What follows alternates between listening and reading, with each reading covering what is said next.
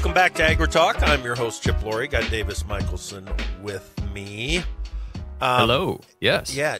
Davis totally. Margie Eckelkamp, the mm-hmm. editor at The Scoop, um, mm-hmm. has been talking about a survey that the Association of Equipment Manufacturers has done to, okay. and, and the survey, it, it, well, number one, there's there's some information in there on how much technology has been adopted, uh, how it's being used, how some of the benefits of the technology that is out there, and they did a heck of a job with this survey, and I, it, it's interesting. I want to get some of the details right now from Curt Blades. Curt is the senior VP of Agriculture Services at the Association of Equipment Manufacturers, AEM. He joins us right now. Curt, welcome to AgriTalk. Hey, thanks for having me on, Chip. You bet. Glad that you're here. Glad you're here. Let's put some groundwork uh, down on this survey before we get to some of the findings. When was it done? Well, the uh, the environmental the study is called the Environmental Benefits of Precision Agriculture, and it's actually been in the works for about two years. Uh, and, and, it, and it came about with uh, when we were just posed with the question from some of our members saying, "Hey, has anybody ever benchmarked what the you know what what is the environmental benefit of all of this uh, uh, precision agriculture is out in the field? Tractors driving themselves and uh, section control and variable rate technology." And uh, you, we did a little bit digging and realized that there's nothing out there that's quantified it. But as you also know, it's logical that if a tractor's driving itself, it's going to be more efficient. It's going to use a little bit less fuel. It's going to use a little bit less active ingredient.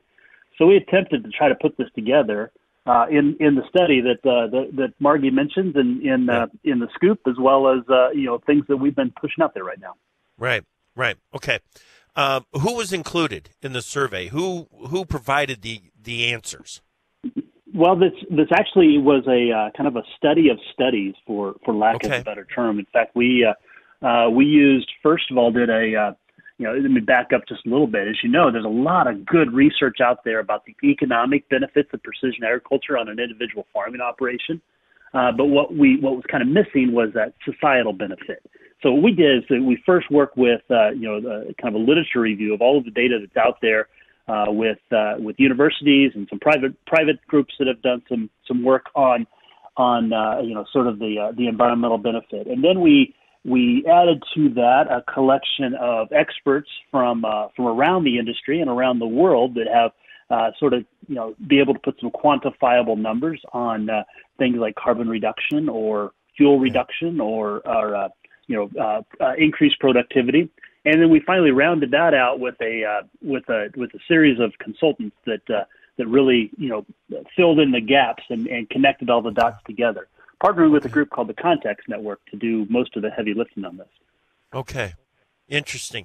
Now, when I think of technology and AEM, I think tractors, I think combines, I think tillage equipment, but that's that's maybe too narrow of a view because we're also looking at technology and and the the benefits of technology on equipment like milkers stuff like that, right? Well, this particular study doesn't dive into milkers, but absolutely a next generation of this will will be taking a look at that. But you're, you're right, Chip. When we talk about equipment, we're talking about all sorts of mechanization, and yeah. it's not just you know tractors and bent iron. It's ones and zeros and technologies and software. All fall into the same category of of, of equipment that AEM represents. And then this study specifically is diving into that precision ag technology that's really used for growing right. crops for the most part. Okay, okay. So let's get into some of the the um, the findings, the discoveries here. The adoption of precision ag. What has it done? Where have we gained efficiencies? Well, the the the best place to look at for the adoption of precision ag, or actually for the benefit of precision ag, has simply to do with increased production. And so if you look at just, you know, increased production alone, we've seen, you know, some, some major in, you know, efficiency gains. Now, obviously, over the last 20 years, we've seen efficiency gains in, in production gains in production agriculture that are due to a lot of things, including, uh, you know, new genetics and different tillage practices and other things. But we've been able to isolate specifically that we're, we're ranking about 4% of the total increase in production is directly tied to that um, adoption of precision agriculture. And that's using the technologies of auto guidance, variable rate okay. technology, and section control.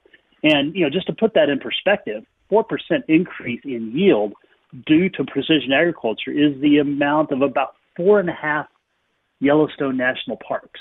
So that's a lot of acreage that is, frankly, uh, hasn't been necessary to bring into production around the world to, to feed this growing society simply by adopting great technology. And that's at existing uh, adoption rates.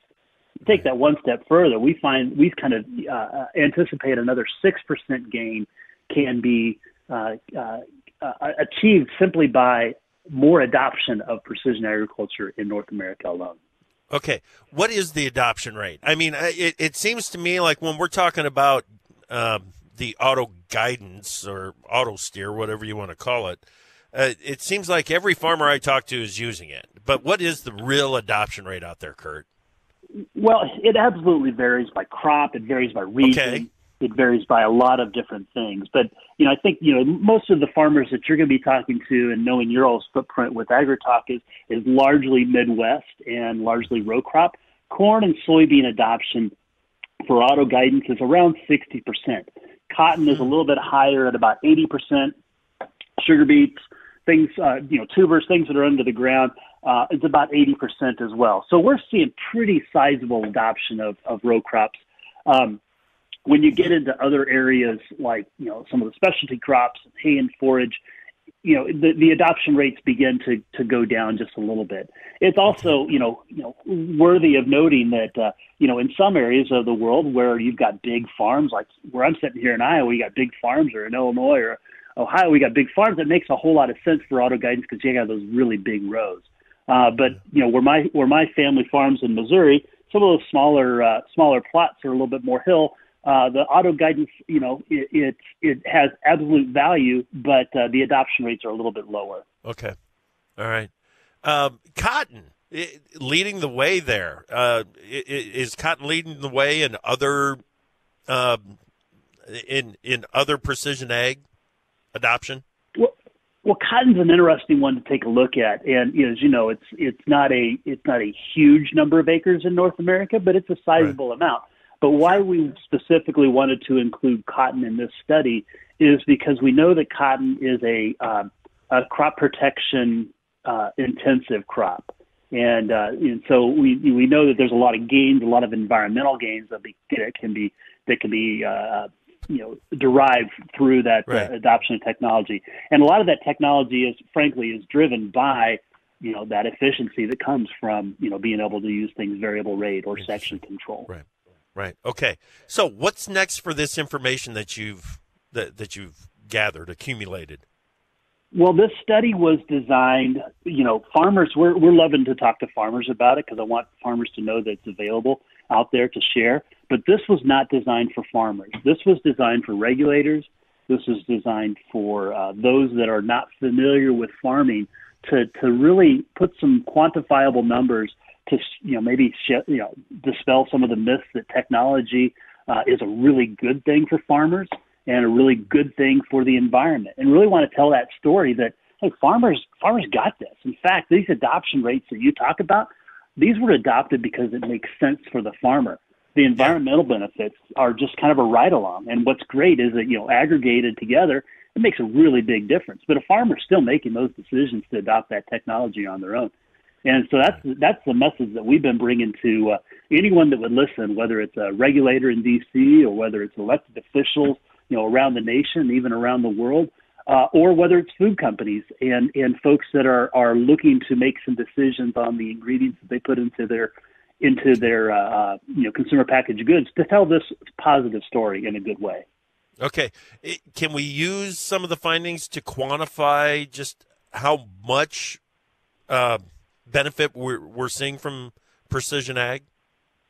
Absolutely, absolutely. Okay. In fact, uh, you know, we, we again designed the study uh, to be, you know, we're partnering with uh, some of the commodity organizations, corn growers, American Soybean Association, uh, CropLife America have been primary sponsors, as well as most of the other uh, commodity organizations have been involved with this as well. But they are using the same data to share with you know their membership and make it available to their farmers that get involved in in policy conversations as well as advocating on behalf of agriculture.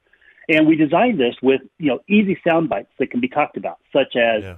you know the amount of uh, acreage that can be avoided by use of precision agriculture, or the amount of of uh, you know fuel savings that uh, you know put it in in in reference to the amount of cars taken off the road. These are sound yeah. bites that make a big difference to those to those non-farm audiences.